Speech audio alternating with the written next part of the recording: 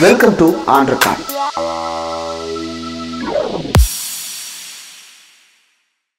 Welcome to record இன்றைக்கு நம்மோடு நேர்காணலுக்காக சிறப்பு விருந்தினராக செயற்பாட்டாளர் கிருத்திகாதரன் அவர்கள் இணைந்திருக்கிறார். அவரோடு பேசலாம். ஒரு வணக்கம். வணக்கம். நேரலை நண்பர்களுக்கும் தங்களுக்கும். ஆஹ் மணிப்பூர் போயிட்டு வந்திருந்தீங்க. போயிட்டு வந்ததற்கு பிறகு நீங்க நிறைய பதிவுகள் போட்டிருந்தீங்க. அதுல சொல்லப்பட்ட தகவல்கள் வந்து இதற்கு முன்னாடி ஊடகங்கள்ல வராத பல தகவல்கள் அதில் இடம்பெற்று இருந்தன அந்த மக்களுக்கு தாக்குதல் எப்படி ஒரு மனநிலையை உருவாக்கி இருக்கு அப்படின்றத பார்க்கும்போதே புரிந்து கொள்ள முடிந்தது. அவ்வளவு வழியாக இருக்கிற அந்த காணொலிகளை பார்க்கும்போது. நீங்க இங்க போய் பார்த்த காட்சிகள் என்ன? ஏன்னா நமக்கு வந்து ஊடகங்கள்ல கிடைக்கக்கூடிய ஃபுட்டேஜஸ் வந்து இம்பால் நகரத்தில் இருக்கக்கூடிய அந்த ஆரம்ப கட்ட போராட்டத்தில் எடுக்கப்பட்ட அந்த புகைப்படங்கள் தான் இப்பவும் வருது. அதற்கு பிறகு சர்ஃபேஸ் ஆன அந்த வீடியோவை பார்த்ததுதான். உள்ளுக்குள்ள என்ன நடக்குது அப்படின்றது குறித்து எக்ஸ்க்ளூசிவான ஃபுட்டேஜஸ் வந்து வெளியே எதுவும் கிடைக்க பெறல தமிழ் ஊடகங்களுக்கு. நீங்க அங்க என்ன பாத்தீங்க வாட் யூ ஹவ் விட்னஸ்ட் முதல்ல நாங்க எதுக்கு போனோம் அப்படின்னா டாக்டர் ராதிகா சைக்கியாட்டிஸ்ட் ஆதிமொழி அப்படிங்கிறவங்க. அவங்களோட டீச்சர் தெரபிஸ் அண்ட் பொலிட்டீஷியன். நான் வந்து கிருத்திகா தரன். நான் ஒரு வந்து கவுன்சிலர் அண்ட் என்எல்பி ட்ரைனர் நான். என்எல்பி ட்ரைனர் அப்படிங்கிறப்ப அங்கே இருக்கிறவங்களுக்கு என்னால் ட்ரைனிங் கொடுக்க முடியும். அதாவது சப்போர்ட்டிங் சிஸ்டம் பண்ணுறவங்களுக்கு ட்ரைனிங் கொடுக்க முடியும். ஸோ நாங்கள் வந்து ஒரு முப்பது கிட்டத்தட்ட மென்டல் ஹெல்த் கேம்ப் நடத்தினோம். இதுக்கு வந்து நாங்கள் கேம்ப் கேம்பாக போகணும். அங்கே நூற்றுக்கணக்கான கேம்புகள் இருக்குது நூற்றுக்கணக்கான கேம்புகள் அப்படின்னா நம்ம ஊர்ல வந்து அகதிகள் வந்தாங்கன்னா தங்க வைக்கிற மாதிரி உள்நாட்டிலேயே போரினால் அதாவது வெளிநாட்டிலேருந்து ஒரு போரினால் அகதிகள் வருவாங்க நம்ம இந்தியாவுக்கு. ஆனா உள்நாட்டிலேயே போர் வந்து உள்நாட்டுக்குள்ளேயே போர்னால அகதிகளுக்காக நூற்றுக்கணக்கான கேம்புகள் கேம்புகள் உள்ள ஊர் வந்து நாட ஒரு மாநிலமாக நான் மணிப்பூரை பார்த்தேன். அப்ப நாங்க வந்து ஆகஸ்ட் நாலாம் தேதி வரைக்கும் நான் உண்ணாவிரதம் இருந்தேன். எனக்கு உண்ணாவிரதம் பத்து நாள் முடிந்து பதினொன்று நாள் நாள் ஆரம்பிச்சது.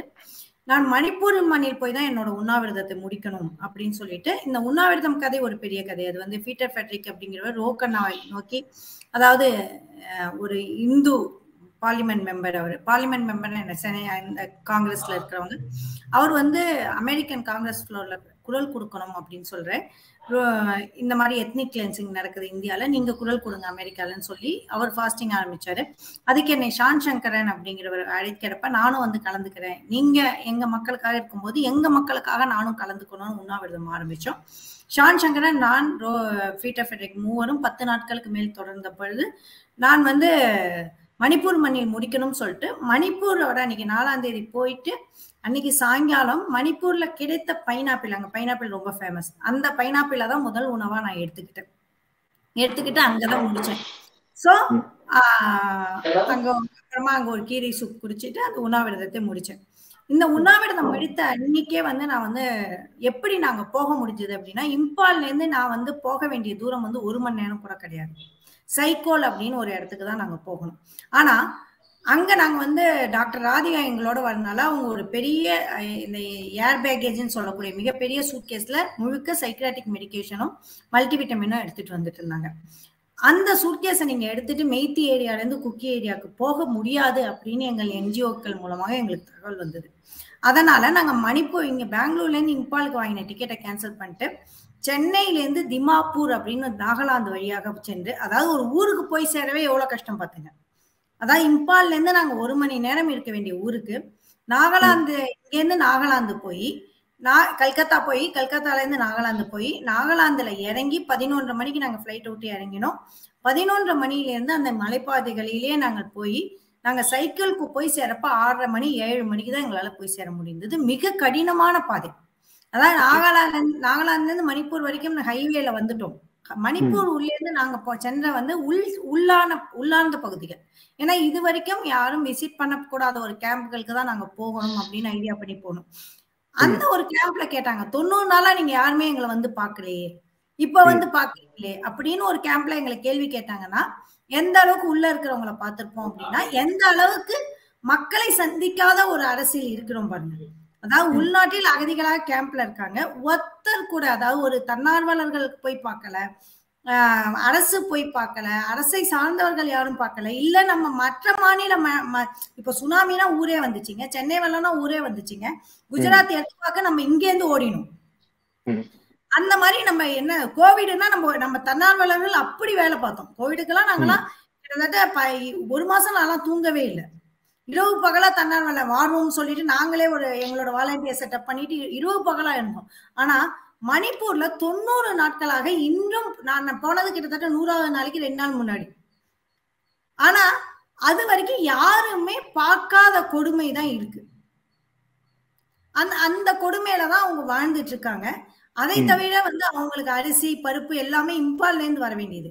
ஆசிரியர்கள் பள்ளி ஆசிரியர்கள் எல்லாருமே இம்பால்ல இருந்து வர வேண்டியது. யாருமே எங்கேயுமே போக முடியாது. இவங்க ஒரு எல்லையில இருக்காங்க அவங்க ஒரு எல்லையில இருக்காங்க. சோ எங்களோட பயணமே வந்து எவ்வளவு கடுமையா இருக்கு அப்படிங்கறத பார்த்தாலே உங்களுக்கு தெரியும் இந்த ஊர் எப்படி ரெண்டு பட்டு இருக்கு அப்படிங்கிறது. இல்ல அங்க தாக்குதல் அப்படின்றது எப்படி நடந்திருக்குது? அந்த வீடுகள் கொளுத்தப்பட்டதா நிறைய தகவல் கிடைச்சது. மக்கள் சுட்டு கொல்லப்பட்டிருக்கிறாங்க. நூத்தி ஐம்பது பேருக்கு மேல இறந்திருக்கிறாங்கன்னு அபிஷியல் ரெக்கார்ட்ஸே சொல்லுது. அத நேர்ல பார்த்தவங்களோட பேசுனீங்களா? அவங்க என்ன பகிர்ந்துக்கிறாங்க? அதாவது நேர்ல வந்து நான் குக்கி இன மக்களை மட்டும் பார்க்க கூடாது என மெய்ட்டி இன மக்கள் கேம்புகளுக்கும் போனோம். இங்க இரண்டு கேம்புகளும் என்ன வசதி அப்படின்னா இது இம்பால் நகரத்துக்கு பக்கத்துல இருக்கறனால நான் இது வசதிகள் செஞ்சு கொடுப்பது தவறு சரின்னு சொல்ல. இவங்களுக்கு. இம்பால் நகரம் பக்கத்துல இருக்கறனால இவங்களுக்கு அந்த இம்பாலில் பல வசதிகள் வந்து கிடைக்கும்.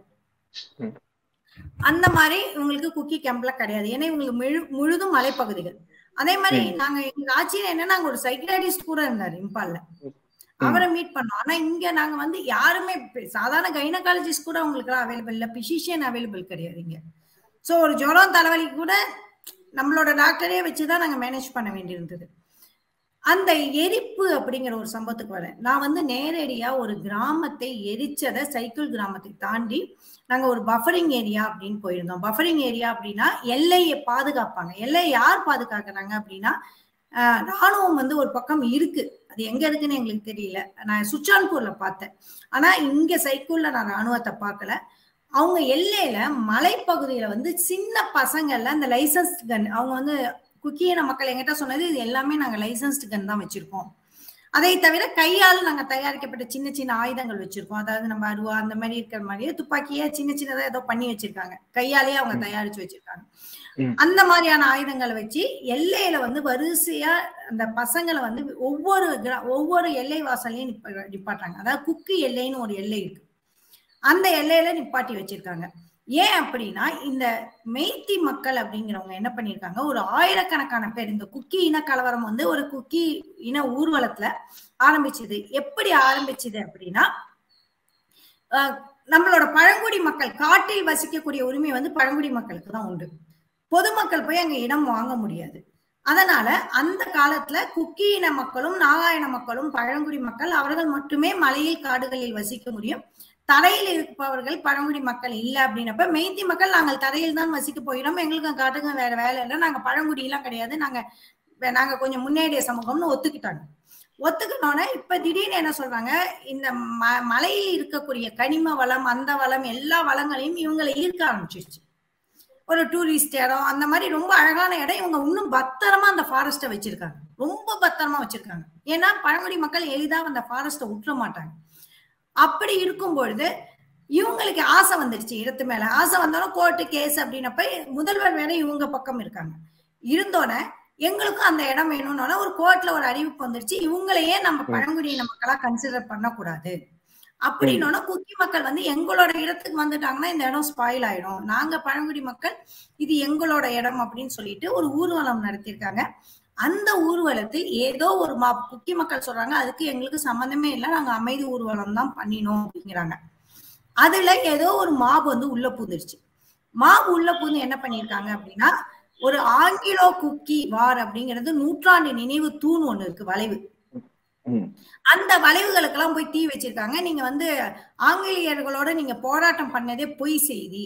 அப்படி ஒண்ணு கிடையாதுன்னா உங்களுக்கு ஊருக்கு ஊர் இருக்கிற நினைவு தூண்கள் நினைவு வளைவுகள் எல்லாம் தீ வைக்க சொல்லியிருக்காங்க. இது அவங்களோட உணர்வுகளோட விளையாட ஆரம்பிக்க இவங்க ஏதோ ரியாக்ட் பண்ண ஆரம்பிக்க அவங்க ரியாக்ட் பண்ண ஒரு பெரிய மாப் கலவரம் உருவாயிடுச்சு. அந்த ஊர்வலம் முடிஞ்ச பிறகு இவங்க என்ன பண்ணிருக்காங்க இவங்க ஊர்வலம் முடிஞ்சு எல்லாரும் வராங்க வெளியில. வந்த பிறகு ஒரு ஆயிரக்கணக்கான பேர் மாபு அவங்க என்ன பண்ணிருக்காங்க குக்கி கிராமங்களில் கிராமம் கிராமமாக போய் நீங்க அந்த என்னோட வீடியோல நீங்க பாத்துருக்கலாம் எங்கிட்ட நான் இன்னும் வெளியிட்டது ஒரு இருபது முப்பது பர்சன்ட் வீடியோ தான். இன்னும் அறுபது எழுபது பர்சன்ட் வெளியில இருக்கு. நான் பார்த்த காட்சிகள்லாம் மிக கொடுமை அதெல்லாம் வந்து ஃபேஸ்புக்ல போடக்கூட முடியாது. கிருத்திகா தரன் ஐடியில போய் பார்த்தா தெரியும்.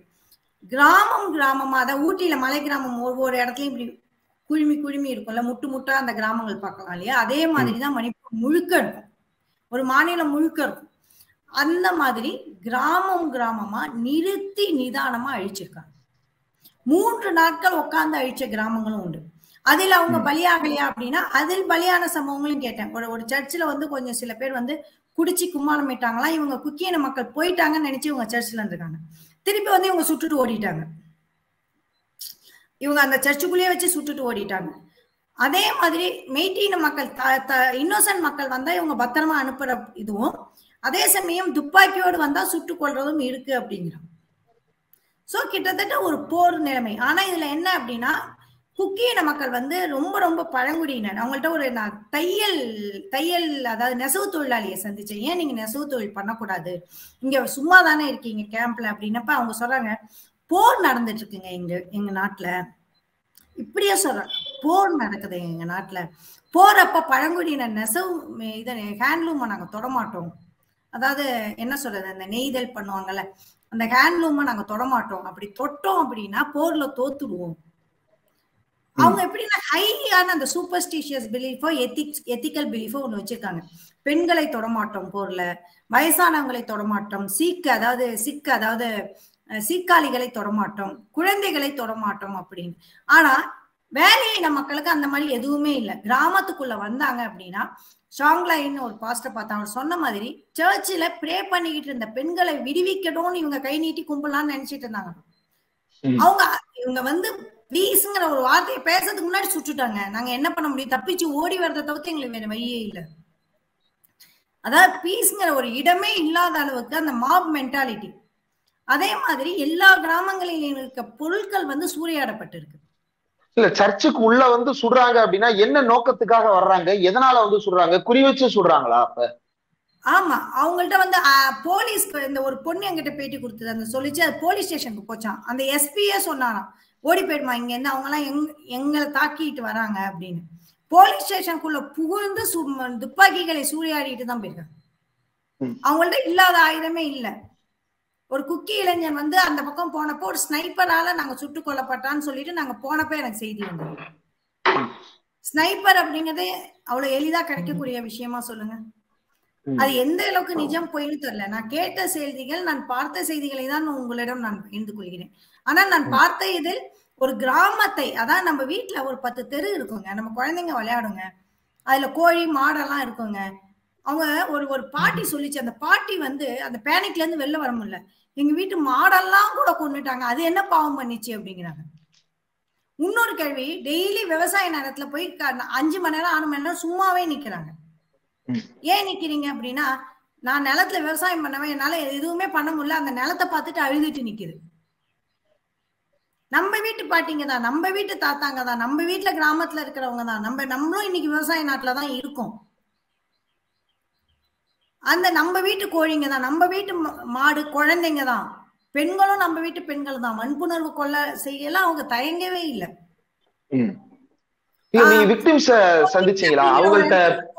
ஒரு பொண்ணு வன்புணர்வு செய்ய போன பொண்ணுக்கு எங்களுக்கு கவுன்சிலிங் வேணும்னு சொன்னாங்க. அப்புறமா அந்த பொண்ணு சொல்லிடுச்சா வேண்டாம் என் கதை எல்லாருக்கும் தெரிய வேண்டாம். நான் யாரையுமே இப்ப சந்திக்க விரும்பல அப்படின்னு. இந்த மாதிரி வன்புணர்வு செய்யப்பட்ட பெண்கள் வந்து சந்திக்கவே பயப்படுறாங்க மக்களை. அப்புறம் மணி இம்பால்ல வந்து நர்ஸா வேலை பார்த்த ஒரு பொண்ணு வந்து எப்படி தப்பிச்சுது அப்படின்னு ஒரு கதை இருக்கு. அங்க அங்க வாலண்டியர்ஸ் எல்லாருமே இம்பால்ல இருந்து தப்பிச்சு வந்தவங்க. ஒவ்வொன்றும் கொடுமையா இருக்குங்க. இம்பால்ல ஒரு சர்ச்சை அந்த பாஸ்டர் வந்து இம்பால்ல இருந்த அந்த சர்ச்சை முழுக்க இடிச்சிருக்காங்க. அவர் வீடை முழுக்க இடிச்சிருக்காங்க. அவர் அலுவலகத்தை முழுக்க இடிச்சிருக்காங்க. அவர் தன்னோட சர்டிபிகேட் அப்படின்னு காமிக்கிறார். அதோட ஒரு வரி மட்டும் அவரோட பேர் இருக்கு. அவரோட பாத்திரம் பண்டம் எதுவுமே இல்லாம மலைப்பகுதியில இப்ப ஒருத்தரா இருக்காரு. அவர் சமூகத்துல மிகப்பெரிய ஆள் அவரு. சர்ச்சஸ் எங்க வீக்கான பர்சன்ஸ் இருக்கிறாங்க? எங்க போனா நம்ம அட்டாக் பண்ண முடியும் அப்படின்னு சொல்லி டார்கெட் பண்ணி இந்த வேலை நடந்திருக்கு. இந்த டார்கெட்டட் ஒர்க்கை வந்து யார் செய்யறது?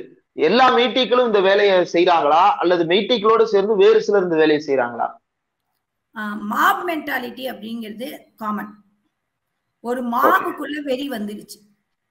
அந்த வெறி போய் ஒவ்வொரு கிராமமா அழிக்கிற வரைக்கும் உடலை. முன்னூற்று முந்நூறு கிராமங்களுக்கு மேல அழிச்சிருக்காங்க. ரொம்ப எளிதாங்க முந்நூறு கிராமத்தெல்லாம் அழிக்கிறதுங்கிறது. ஒரு கிராமத்தை அழிக்கிற ஒரு வீடியோ நீங்க நான் உங்களுக்கு அனுப்புறேன் நீங்க பாருங்க. அ- அவ்வளவு எளிதில்லை. கிராமத்தை பத்த வைக்கிறதுங்கிறது அவ்வளவு எளிதில்லை. அதுக்கு பெரிய உங்களுக்கு கிராமத்துல வசிக்கிறவங்க எல்லாம் சும்மா இருப்பாங்களா? நீங்க ஒரு நாலு துப்பாக்கி வச்சிருந்தா கூட அவங்க கிராமத்து ஆளுங்க எல்லாம் பயப்பட மாட்டாங்க. அப்பனா எத்தனை பெரிய கூட்டம் போயிருக்கும் எத்தனை பெரிய விஷயம் போயிருக்கும் மூன்று நாட்கள் அமர்ந்து எழிச்சிருக்காங்க நிதானமா. அப்படின்னா. அரசு மூணு நாட்கள் வரைக்கும் செய்தி போயிருக்காதா? இன்னைக்கு ஒரு செகண்ட்ல நம்ம வந்து ஒரு செய்தியை கொண்டு போகக்கூடிய காலத்துல இருக்கும். நீங்க கார்ல போலாம் எல்லாத்துலயும் போலாம். அந்த மாதிரி இம்பால்ல வரிசையா குக்கியின மக்கள் கார்கள் அத்தனையும் அழிக்கப்பட்டிருக்கு. அது ஒரு வீடியோ வச்சு அனுப்பிச்சாங்க எனக்கு. அதாவது இப்ப இன எத்தனிக் கிளன்சிங்னு அவங்க சொல்றாங்க. குக்கியின மக்கள் முழுக்க முழுக்க எங்களோட கிறிஸ்டியன் அப்படிங்கிற ஒரு இனம் இருக்கக்கூடாது. குக்கிங்கிற குக்கி கிறிஸ்டிங்கிற ஒரு இனம் இருக்கக்கூடாதுன்னு சொல்றாங்க. அங்க நடந்த சம்பவங்களும் அதை தான் நம்மள நம்ப வைக்குது. மேட்டி மக்கள் என்ன சொல்றாங்க? நாங்க வந்து ட்ரக் வாருக்கு எதிரான ட்ரக் பண்றோம் அப்படின்னா வாருக்கு எதிராக ஏன் கோழி மாடு வச்சிருக்கவங்க எல்லாம் போய் கொல்லணும்? ம், அதுக்காக மெய்ட்டி மக்கள் பாதிக்காமலாம் இல்ல. இவங்களும் சண்டை போட்டிருக்காங்க. மெய்ட்டியும் குக்கியும் சேர்ந்து வாழ்ந்த ஒரு கிராமத்துல ஸ்கூட்டருங்க குழந்தைங்க சைக்கிள் அப்படியே வாசல்ல இருக்கு. அப்படியே அந்த வீடு அப்படியே ஒரு ஒரு கறி படலமா இருக்கத பார்த்தேன். ஸ்கூட்டர் வந்து ஒரு குச்சியா ஸ்கூட்டர் மாதிரியும் சைக்கிள் மாதிரியும் அந்த கரியா எரிஞ்சு போனா எப்படி இருக்கும்? அதுல அதுல கறிக்கட்டியான ஆன உடல்கள் வந்து நம்ம கண்ணுக்கு இன்னைக்கு தெரியல அவ்வளவுதான். அத்தனை கிராமங்களிலும் கறிக்கட்டியான உடல்களும் சேர்ந்துதான் இருந்தது அதுல ஒருத்தவங்க சொன்னாங்க என் கணவரை வந்து இதுல பலி கொடுத்துட்டேன் கணவரை விட்டுட்டு வரதா நான் தப்பிக்கிறதான்னு எனக்கு தெரியல அப்படின்னு. அங்கேயே நான் சாகணுமா இல்ல தப்பிச்சு வரணுமான்னு? தப்பிச்சு வந்ததுனால இன்னி வரைக்கும் என்னால மீண்டு வர முடியல. அவரோட உடலை நான் விட்டுட்டு வந்துட்டேன்ல. நிறைய பேர் குழந்தைங்கள புணமா விட்டுட்டு வந்திருக்காங்க. விட்டுட்டு வந்த அதை விட நான் ரொம்ப ரொம்ப சோகமா பண்ணது இரண்டு குழந்தைகள் உள்ள கர்ப்பிணிங்க ட்வின்ஸ் குழந்தைங்க உள்ள கர்ப்பிணி. மலையில அஞ்சு நாள் அலைஞ்சிருக்காங்க. இந்த ம், மலைப்பகுதியெல்லாம் சாதாரண மலைப்பகுதியில மழை பெய்யுற மலைப்பகுதி. வழுக்கும். உங்களுக்கு மலைப்பகுதியில சாதாரணமா இப்ப நீங்க பாருங்களேன் உங்க உங்களுக்கு பின்னாடி இருக்கிற ஒரு ஹில்ல போய் ஏறிட முடியுமா? யாரும் ஏறிட முடியாது. அப்படிதான் ஏறி இருக்காங்க. ஏறிட்டு சாப்பாடுக்கு என்ன பண்ணீங்கன்னு கேட்டேன். சாப்பாடுலாம் கிடையாது. மலையில தண்ணி வரும் மழை தண்ணி வரும். அந்த தண்ணியை குடிச்சு ஒரு வாரம் இருந்திருக்காங்க பத்து நாள் இருந்திருக்காங்க அஞ்சு நாள் இருந்திருக்காங்க. அந்த கர்ப்பிணி லேடி வெளியில வந்து இந்த கேம்ப்ல சாதாரண இடத்துல எந்த ஒரு வசதியும் இல்லாம டெலிவரி பண்ணிருக்காங்க ம், கேம்ப்ல தான் இரண்டு குழந்தைகளும் பெத்தேன் அப்படிங்கிறாங்க. அதை தவிர்த்து இம்பால்ல இருந்து தப்பிச்சு வந்து காங்கோப்பியில வந்து டெலிவரி பண்ணவங்க இந்த மாதிரி கர்ப்பிணிகள் ரொம்ப ரொம்ப கஷ்டப்பட்டிருக்காங்க. முக்கியமா குக்கியின மக்கள் தான் ஏன்னா இம்பால்ங்கிறது ஒரு சிட்டி அங்க வந்து எல்லா வசதியும் இருக்கும். மெய்ட்டின மக்கள் இந்த மலைப்பகுதியில இருந்து அவங்க போனாலும் அவங்க சிட்டிக்கு தான் போயிருக்காங்க. இன்னைக்கு வந்து ஒரு ரேடியாலஜிஸ்ட் கிடையாது அவங்களுக்கு ஒரு எக்ஸ்ரே டெக்னீஷியன் கிடையாது. ஒரு மருத்துவமனை கிடையாது ஹில்ல இருக்கவங்களுக்கு. அந்த மக்களுக்கான மீட்பு பணிகளை எல்லாத்தையும் செஞ்சுட்டு இருக்கிறோம்னு மோடி வாக்குறுதி கொடுத்திருக்காரு பிரேன் சிங் வாக்குறுதி கொடுத்திருக்காரு அது எதுவுமே நடக்கலையா? போலீஸ் அங்க இல்லையா? அரசு அங்க இல்லையா?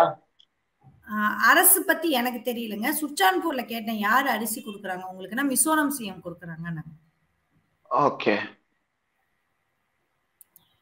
இது இது வந்து நான் சுச்சான்பூர்ல வந்து ஒரு நான் போன இடம் வந்து நான் போய் மீட் பண்ணேன்னா கொஞ்சம் நல்ல ஆட்களை தான் மீட் பண்ணுவேன். குக்கி ஸ்டூடெண்ட் ஆர்கனைசேஷன் ஆஃபீஸரை கேட்டேன். இந்த மாதிரி நாங்க படிக்கிறதுக்கு நான் வந்து நாங்க இருக்கிற ஆர்கனைசேஷன்லாம் கேட்கிறேன் காலேஜ் யாராவது கல்லூரி drop out list college drop out லிஸ்ட்லாம் கொடுங்க. அவங்களோட சர்டிஃபிகேட்லாம் எரிஞ்சிருக்கும்.